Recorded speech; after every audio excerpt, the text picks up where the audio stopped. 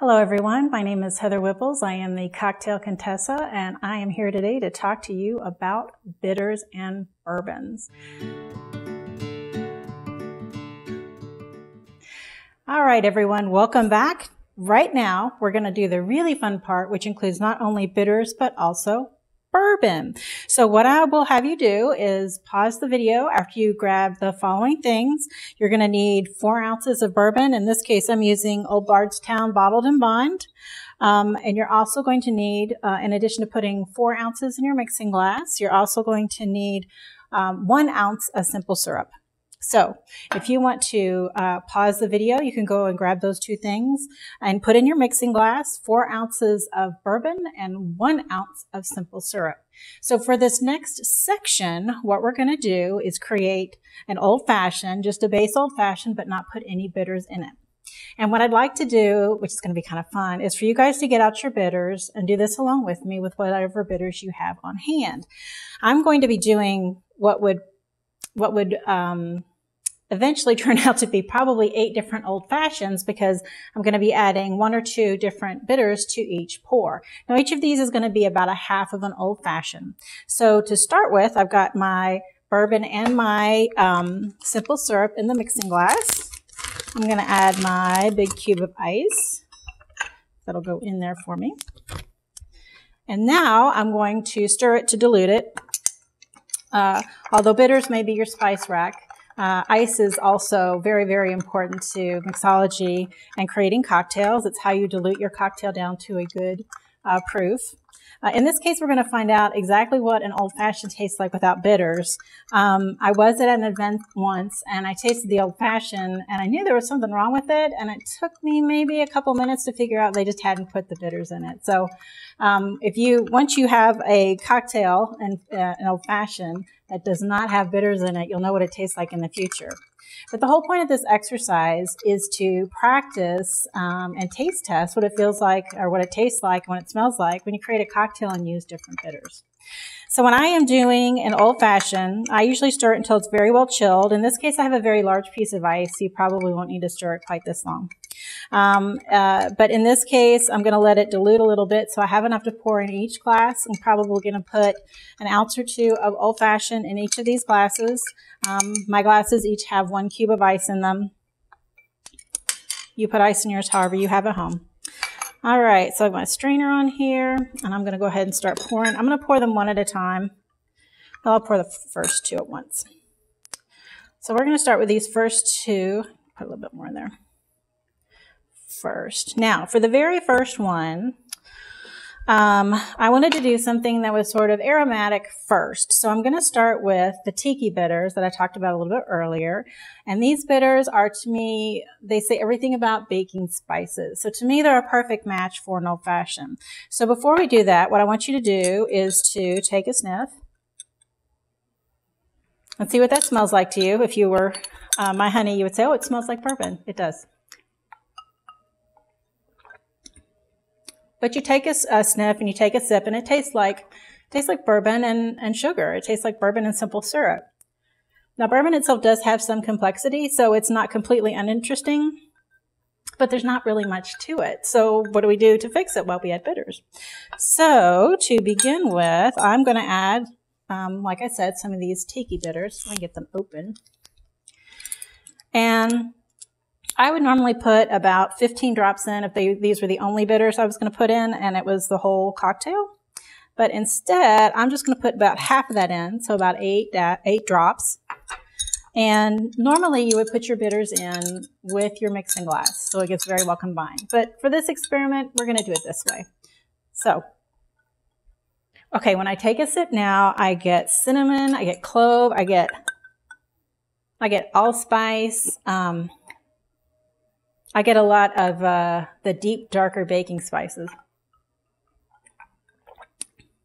And that's an old fashioned, right? So the, in this case, the tiki bitters took some of the notes that were already in the whiskey. So the baking spices, a little bit of vanilla. There does, there's some sweetness to these bitters, but kind of the cinnamon, um, the clove, um, sort of the darker baking spices. It's really elevated that and brought it all together. Now, normally I would also go ahead, if, I, if this were my cocktail and I were done, I would go ahead and uh, express some orange zest over it. Or uh, in this case, because I'm using the tiki bitters, I might just garnish with uh, cinnamon stick. Um, but in this case, let's do something a little bit different. I haven't done this before. This combination. So again, this is just this will be an equivalent of the equivalent of uh, two ounces of bourbon with a half ounce of simple syrup, just plain simple syrup, nothing flavored, and some of the tiki bitters. And let's see what adding some of the smoked cinnamon bitters do. Now, for um, cocktails, a lot of people don't like smoke, something very peaty or smoky. But for a cocktail like an old fashioned, something where you smoke the glass can be very compelling and it can be very appealing. Uh, in this case, with the smoked cinnamon bitters, they have a light smoke scent, but it's not overwhelming. But I'm still going to be careful with how much I put in. I'm just going to put four drops in. I'm going to give this another little swirl. Take another sip. I'm getting really light smoky notes, not anything super heavy or super strong. And I do get a little bit of the smoke in here. It's interesting. I get it more on the finish than any other place when I'm actually tasting this. So for this, I would say this is a good combination.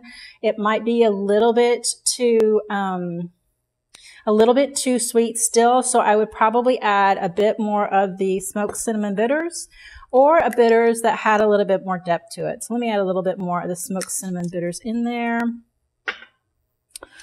Give it a real quick swirl.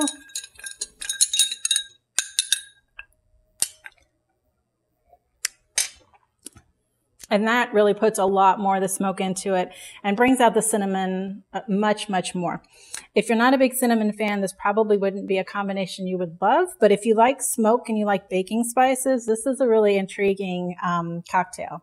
So at this point, if you have your own bitters, you may have put in orange bitters, or you may have put in Angostura first and then it added more orange or added cherry, or you could have added chocolate. So at this point, um, you could have actually already had the equivalent of tastes of two different old fashions. So let's move forward to the next one.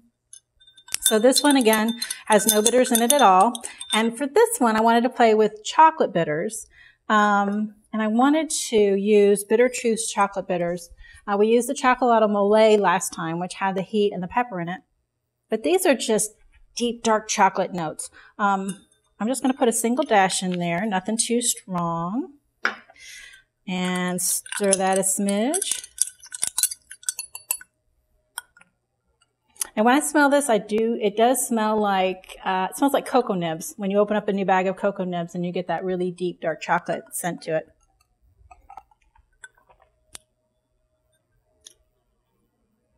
So this is a really good old fashioned.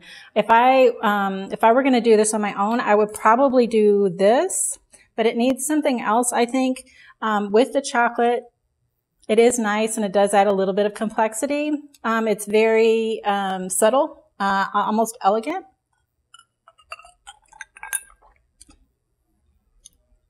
And um, the, the chocolate here binds really well with the base whiskey. But I think what I would do is add something like ginger bitters or perhaps uh, cherry bitters would actually go really well. Uh, Woodford's has a spiced cherry bitter. So if you have those at home, I would toss those in with some chocolate bitters and see what you think. In this case, I'm going to go with the ginger bitters. And these are Hella Bitters uh, ginger bitters. I use these all the time. And stir that around a little bit.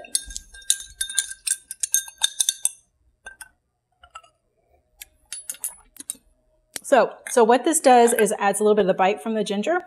Um, and it gives you more of the aroma of the ginger actually in the cocktail. It's really interesting how the cocktail went from being sort of subtle, understated chocolate to now it's got a little bit of that kick from the ginger. So it's got a little bit of the spice.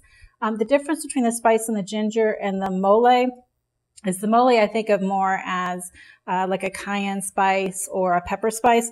The ginger spice is different somehow. It's rooty. It's not as vegetal. It's very it, it just tastes more like ginger root. It's really kind of interesting.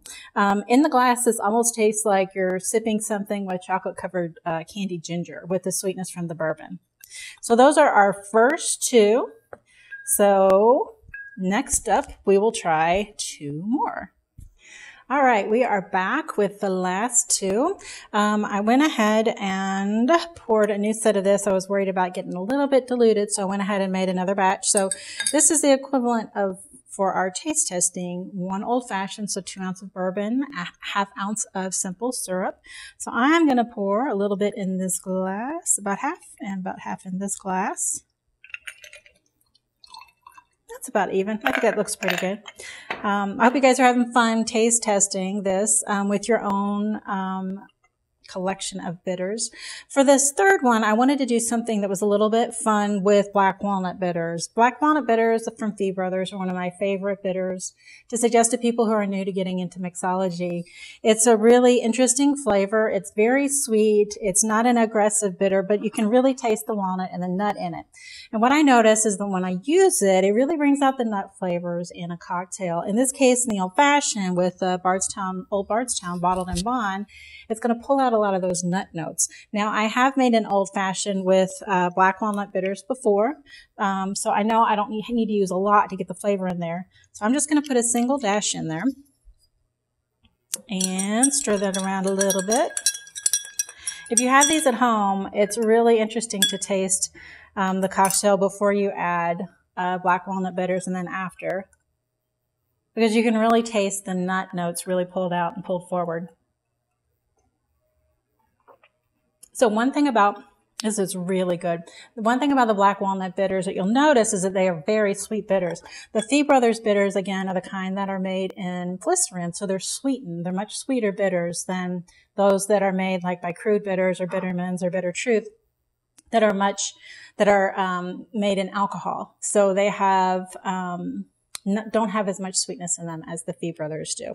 This is a really good cocktail just with the black walnut bitters in there. It makes a very distinct old fashioned.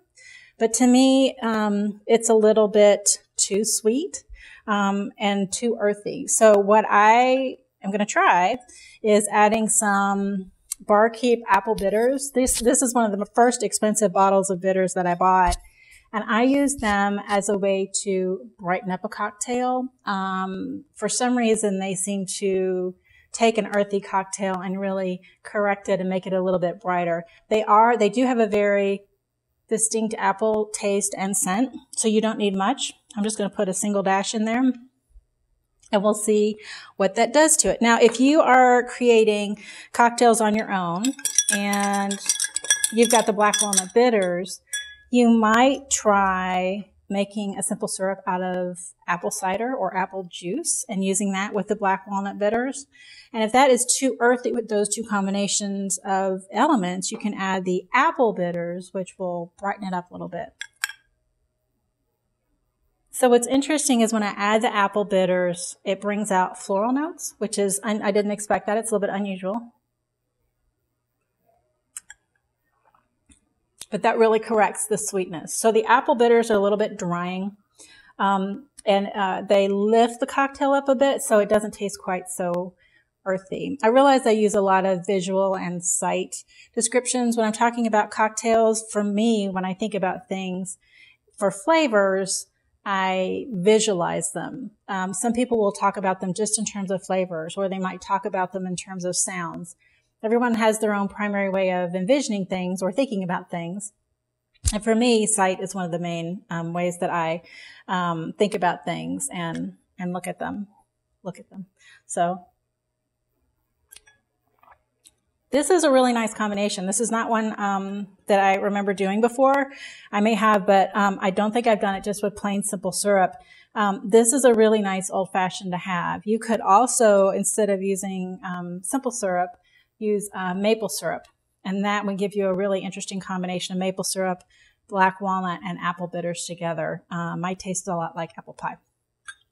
So um, that is actually a really good combination. So for the last one, I wanted to play with floral flavors. Now, floral flavors you don't always get when you taste whiskey, but we know they're there, right? If you think about Four Roses and their yeast there are different types of yeast. There are certain yeasts and certain mash bills that tend to give us a more floral uh, bourbon, a more floral whiskey. So we know floral notes are in there. They may not always be the first ones that we pick out. They're a little bit harder, I think, to detect than the baking spices, the vanilla, the caramels, the toffee, the really sweet notes. So I'm going to remind myself what a plain old fashioned tastes like with a sip. And compared with what we've done so far, this is very flat. It doesn't taste that interesting. It tastes like there's something missing, and there is. It's bitters. Um, and for this one, I wanted to play with floral flavors, like I said. So I wanted to use Earl Grey to me is floral. It's a very, bergamot is an herb, but to me it is also very floral. So I wanted to use some Earl Grey bitters here, and they will be drying because they're made with uh, Earl Grey tea. And these are from 1821 Bitters, which is a bitters company out of Atlanta. They have a little set that you can get that has four different bitters in them. And this one had the Earl Grey bitters in it, so it's the one that I got. So I'm going to stir that around to get it mixed in. And when I take a sip now, this is really interesting. The bourbon did not smell floral before, but now I really not necessarily get a whole lot of bergamot notes, but much more floral yeah, much more floral notes. Almost like you've walked through a garden and put your hand on the bushes and you're, you're taking a sniff on your hand. That is really nice. It's very dry. Like I said, because of the tea, it is more stringent. So it is very dry, but I really like that flavor together. If you are an Earl Grey fan, you're going to like this in an old fashioned. Now, I want to also add another layer of complexity with bitters. And I thought, well, Normally, if you're drinking hot tea, say Earl Grey, um, you might add a slice of lemon. So I have some Meyer lemon bitters. So I wanted to get those out and see what those tasted like in the actual um, in the cocktail. Now these are BD Bittering bitters. These are also ones made in um, Louisville, Kentucky. And Meyer lemons are sweet, almost orange tasting, but they still have in the zest a lot of that orange, uh, a lot of that lemon bitterness. So I'm going to add those in there, give it a stir, and take a sip of this.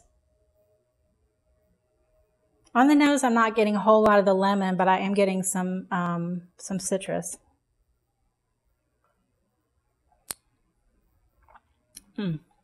But you can really taste, you can really taste the lemon in there. So that cuts down on the astringency. It makes it a little bit brighter as a cocktail. And that is a really fun cocktail. If I were making this, I would garnish it maybe with a slice of lemon and a little bit of um, a floral herb, maybe lavender or um, a sage sprig, something that's a little bit savory. I think that flavor combination is really fantastic, actually. So by now, if you've been doing this with me, you've had um, the equivalent taste of eight different old fashions. So you've seen how bitters can be used either to bind flavors together into a whole or to add a flavoring um, component. In the case of the Earl Grey, we were using really using it to add flavoring components of the Earl Grey tea and the lemon together to make something that tasted or reminded you of tasting a cup of hot Earl Grey tea. So I hope you guys have enjoyed this section. Uh, next up, I'm going to make some uh, Manhattan blanks. So Manhattan's just with vermouth and with uh, bourbon. And then we're going to add bitters to those and see what kinds of interesting things happen there. So I'm going to set up for that and I'll be right back. All right, everyone. I hope you had fun testing out different old fashions. Next, we're going to do Manhattan. So what I've got in my glass is the equivalent of two Manhattans. I'm going to pour a half in each glass.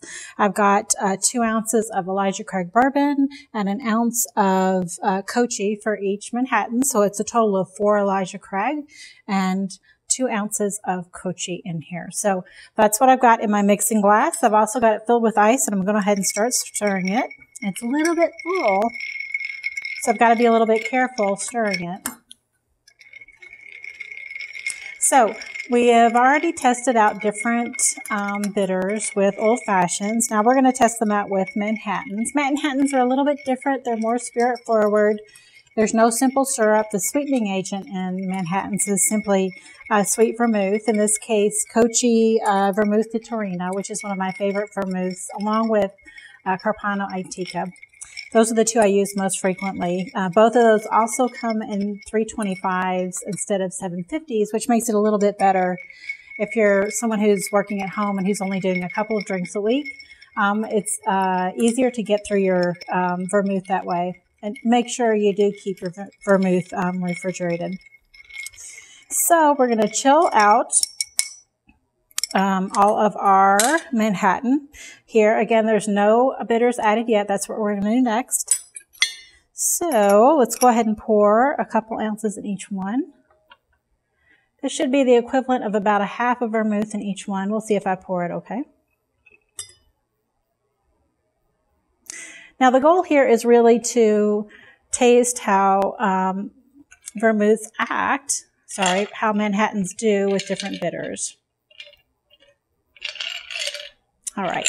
So we've got a pretty even pour in all of those. If you're doing this at home, um, go ahead and before we start this, sorry, pause this and go ahead and put four ounces of bourbon in your mixing glass and two ounces of vermouth. Mix those up over ice, pour those in your glasses, and then get ready to start. So if you've got all of your bitters out, you can play around with whatever examples that you have. I'm going to play with what I have. In this case, for the first one, I'm going to start with a little bit of coffee flavoring. This is a coffee pecan bitters, so I'm going to put a couple dashes of those in here. Um, this one's using drops, so I'm going to go ahead and put about eight drops in there. I'm going to go ahead and stir it a little bit to mix it up. Generally, when I do a Manhattan, I would go ahead and put the bitters in the mixing glass as I make it. But in this case, we're going to do some taste testing, so it's a little bit different from the normal procedure. And when I smell this, I get a lot of the coffee, not much of the pecan,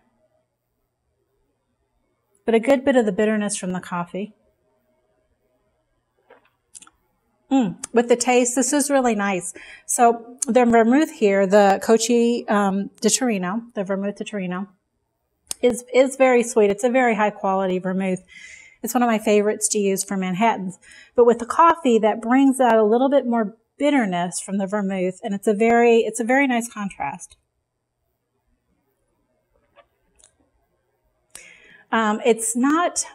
It reminds you of coffee, but it's not an overly coffee flavor there.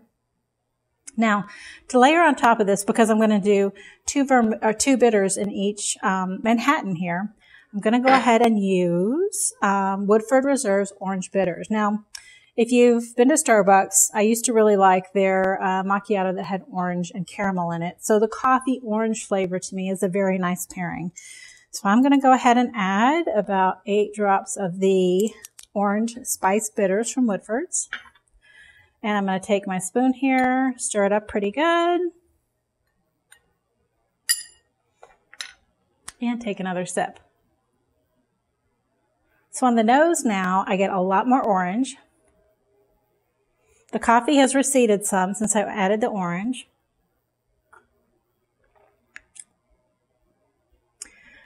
And with the taste here, I do really like the combination of the orange and coffee. I do have to say I might, I think I prefer it just with the coffee pecan bitters. Um, those are a really nice combination here with the particular vermouth that we're using.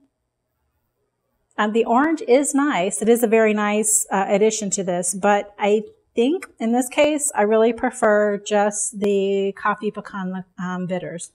Now, with all this, what we're really doing is thinking about our own palate and looking at what the addition of different bitters does to the base cocktail. In this case, the base cocktail of just vermouth and bitters is sweet. It's not as sweet as an old fashioned with just simple syrup, but it is a very sweet cocktail itself. So um, for the second one, I wanted to do something with some more traditional, maybe a little bit more traditional um, uh, Manhattan flavors. Generally, with a Manhattan, you would use Angostura bitters, uh, a couple ounces, either two or two and a half ounces of bourbon, one to one and a half ounces of vermouth, depending on the bourbon that you use, depending on the vermouth that you used. And then in addition to that, you would, sometimes people put orange zest over the top, um, squeeze it so it expresses the orange essential oils. And also sometimes people put a cherry in there. So for the second one, we're going to play a little bit with the cherry flavors. So I've got the Woodford Reserve Spice Cherry. So I'm going to take a sip of it without anything else in there. Which is fine, but not really remarkable in any way. So next up, I'm going to add some of the spiced cherry bitters. I'm going to add about eight drops. Normally in a uh, Manhattan, if this were a full size one, I might add more like 10 or 15 drops, but we're just going to keep it at about half for this one since we're doing half ounce or half um, portion pours.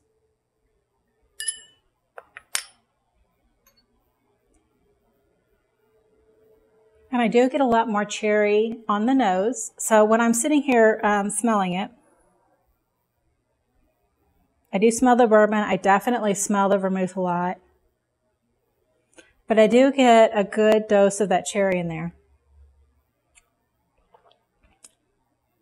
Tasting it, definitely get a, get a, a good dose of the cherry. Um, and it is very nice. This would be what I would consider sort of a classic Manhattan with the uh, vermouth, the bourbon, and the cherry bitters. But let's um, make things a little bit more complex. And let's look at uh, gingerbread bitters, which I also have. I thought this might be interesting, not just to introduce uh, ginger, but this also has some cloves, some allspice sort of flavors to it, some of the deeper, darker uh, baking spices. So we'll add about eight, about eight drops in there. Give this another stir.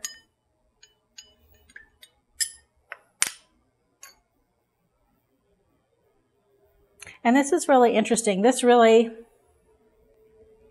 this smells like, it smells like your kitchen smells when you're baking cookies around the holidays. Um, it smells like baking spices. It smells a little bit about, uh, I get a little bit of ginger from it, obviously. A little bit of the cherry still comes through on this. And when I sip this, this is much more complex than just the spiced cherry bitters. So adding the gingerbread bitters here adds a little bit more of the baking spices, which adds a little bit, a little bit of depth, a little bit of complexity. It makes it overall a more interesting Manhattan. Next up, we're going to look at a little bit more savory flavors with uh, smoked chili bitters, so smoke and heat both together, and we're also going to look at Rizzo, which is one of the crude bitters. Now, the components of this one are rosemary, grapefruit, and peppercorn. So a little bit of more savory notes with the rosemary. The grapefruit is going to bring some citrus and some brightening citrus in there. And also the peppercorn, which is going to bring, bring a little bit of heat and a little bit of vegetal notes. So I'm going to start by adding just the smoked chili. So this is going to be our third Manhattan test. We're going to put a dash of that in there. Give it a quick stir to make sure everything is combined. So this first taste is going to be just with the smoked chili bitters. And I get a lot of smoke on this. You know, this is really interesting. These smoked chili bitters, these are one that I really recommend to someone who's building out their bar and wants to have it uh, have a, a number of options in order to do Manhattans and old fashions. Definitely get a lot of smoke from this. Um, it's not peaty in the way that a Manhattan made with a peaty scotch would be, but you get the you get the hint of smoke in it, and you get a hint of the char, and you get just a little bit of the heat from the chilies as well. Now, in addition to that, we're going to add some of these Rizzo bitters. These are the crude Rizzo bitters that have rosemary, grapefruit, and peppercorn. And what um, interested me in these is they taste, I'm going to put about six drops in here. Um, the peppercorn to me, when I just use a straight peppercorn tincture, tastes almost vegetal. Mm. I need to stir this up a little bit. But for this, um, what you really want to do is make sure that you're combining like with like flavors. So I've got the smoke and the chili heat along with the peppercorn heat and vegetal notes with the, with the more savory rosemary notes.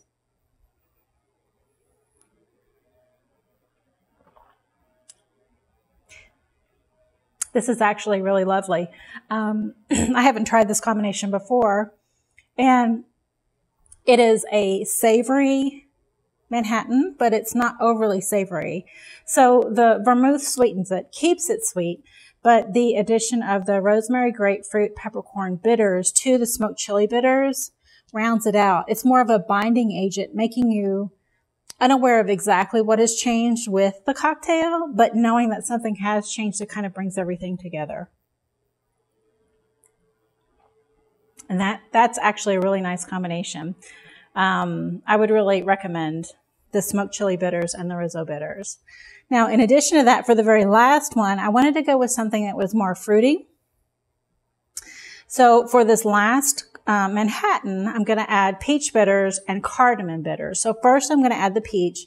Peach is a little more, bit more delicate. I'm going to add the Fee bitters uh, peach, which Fee bitters again is glycerin based, so it's going to be sweeter. So I'm going to add a dash of that. This bitters bottle is really full, so it looked like I shook two bitters in, but it would be the equivalent of one set of bitters. And I do find peach to be a really nice complement to bourbon.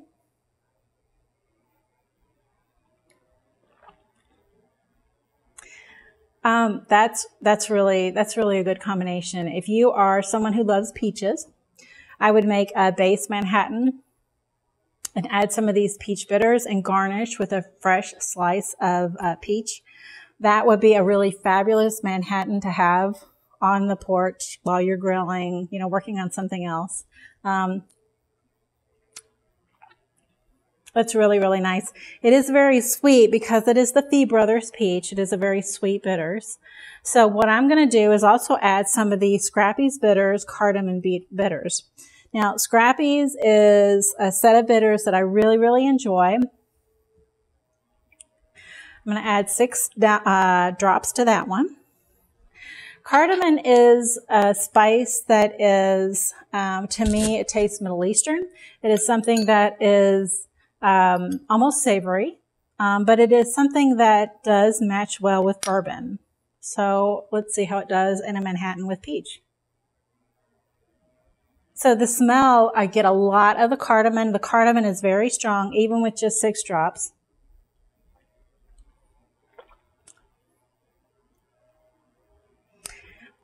I, I really enjoy this. This tastes to me like peach cobbler with a little bit of baking spices in it. The cardamom itself is a very strong fav- flavor. If you're not a, a, someone who loves cardamom and Middle Eastern spices, and someone who really revels in that taste, you may not like this. You may want to stick with just cardamom or just peach itself. But with the cardamom, the cardamom dries it out. It overcomes the sweetness that you find in the peach. And, and I have to say, this is a really lovely combination. It reminds me of a peach pie that's got a really strong arm of um, baking spices in it. Um, not cinnamon, really. Um, you can definitely taste that it is cardamom. But this is a really lovely combination. So when you're testing with Manhattans, think about whether or not you want to go with something that's really sweet, something that's a little bit more savory, something that's a little bit more middle of the road, something that combines aromatic flavor with just a hint of maybe some flavoring agent like like we use peach here, or you could use apple like we use with the old fashions. Think about whether or not you want to use something sweet like a chocolate or something spicy like the smoked chili bitters or the chocolate mole. You can really do a lot with Manhattans because they are not over ice, because they are served neat. The way that you actually put the bitters in and the way that you garnish them can bring out particular flavors. So that's sort of an idea of how bitters play in the Manhattan. So we've covered both how bitters play with the old fashioned and the Manhattan. So I hope that gives you a better idea of how to play with bitters with your different um, classic bourbon drinks. Uh, for this next section, I'm just going to go over what I consider to be basics in terms of what you should have if you're just starting out your mixology journey, if you're sort of in the middle and you want to experiment just a tad, or if you're a master, you've got a ton of bitters like I do, and you really want to branch out into something that's more experimental and uh, a little bit more um, high risk in terms of um, flavors and um, palate.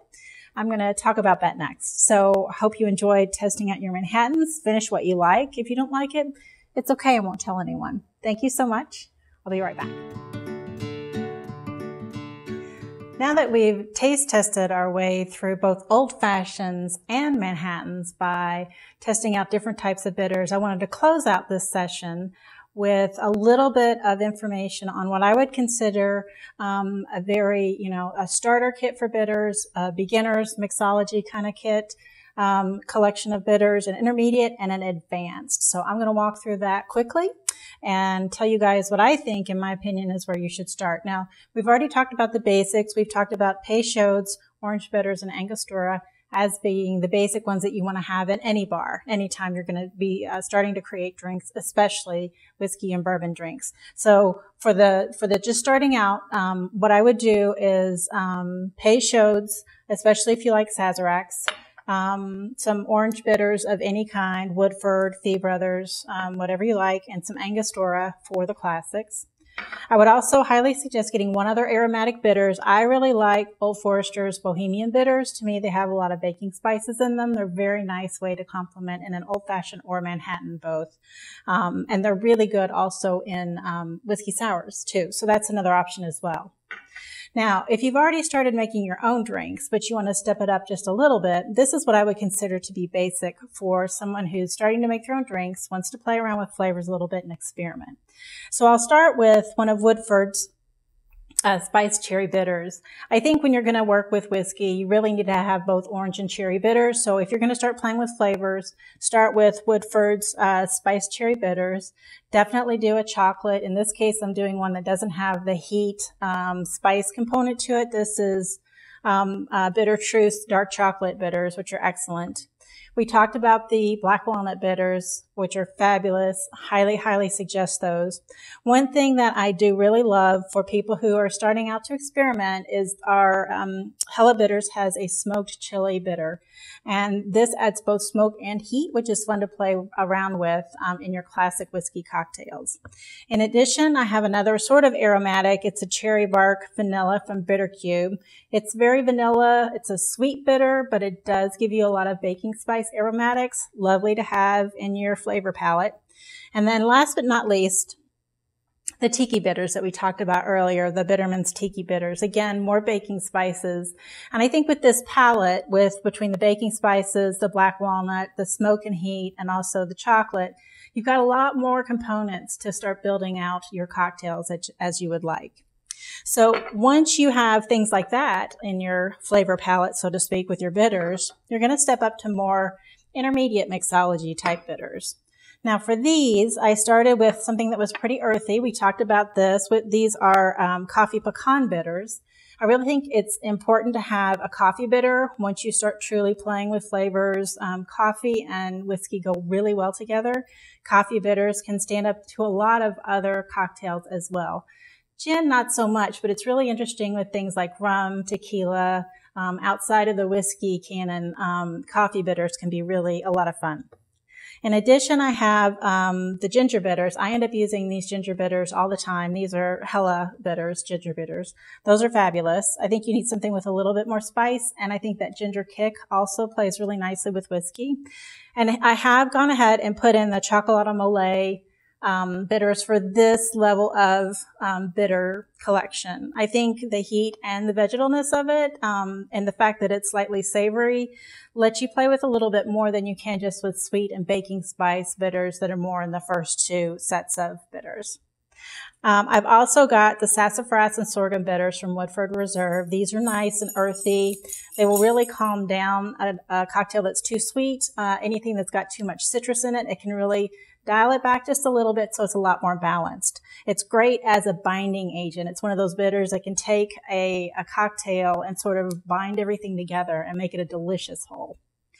Um, the last thing I have in here, I think when you get into the part of mixology where you're starting to play around a lot with flavors and flavor combinations on a more intermediate level, I think it's very important to have some floral bitters. For those, I'm going to go with um, one of these three. Either Scrappy's Bitters has lavender bitters that are fabulous. Um, Old Forester's Hummingbird bitters are very floral and they're lovely, lovely in sours. Um, also really good with champagne. And then as well, we've got the uh, crude bitterless marriage, which, which is the one we talked about, hibiscus, lavender, oak. So those are the ones that I think if you're at an intermediate level, you're really starting to step up your game. Um, those are the ones I think you should think about investing in. Now, once you get past that point, you're going to get to the more advanced flavors. Um, these these um, bitters are not necessarily advanced or more expensive, but but they have components to them that are a little bit trickier to tie in with other things.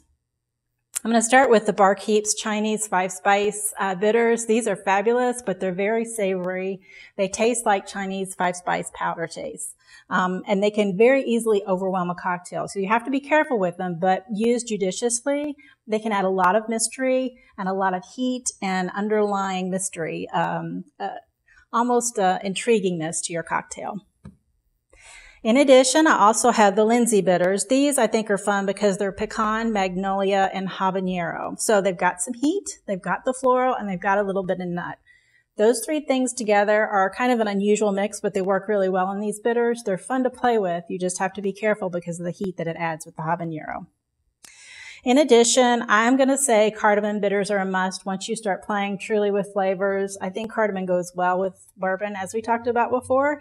So I do um, do very much um, suggest that you guys invest in that if you like the flavors of cardamom and you like savory things in your cocktails.